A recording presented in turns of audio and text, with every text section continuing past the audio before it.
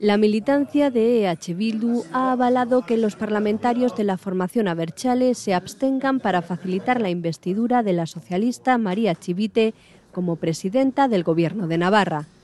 En concreto, en la consulta realizada este miércoles por Bildu a su militancia en Navarra, el 82,7% han respaldado la posición de abstención que planteaba la dirección de la formación Aberchale frente al 12,7%. Tras el sí de Bildu se despeja el camino para el debate de investidura de María Chivite, que comenzará este sábado con la intervención de la candidata socialista a la que seguirán las intervenciones de los portavoces del resto de grupos. En la votación de ese día es necesaria la mayoría absoluta, que Chivite no alcanzará. Será en la segunda votación, que se realizará 24 horas después, en la que es suficiente la mayoría simple, cuando la socialista volverá a ser reelegida presidenta de la comunidad foral, la primera candidata que repite en el cargo desde Miguel Sanz y la primera mujer que se mantiene en la presidencia más de un mandato.